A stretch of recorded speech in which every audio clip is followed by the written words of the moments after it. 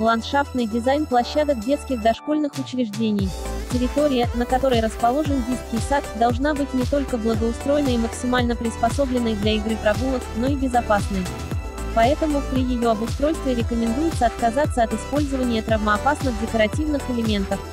На территории детского сада обязательно должны быть зеленые насаждения, площадки для игры занятий спортом, дорожки, аллеи, павильоны и беседки.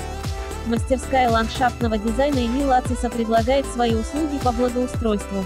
Если информация оказалась полезной, ставьте лайки и подписывайтесь на нашу страницу.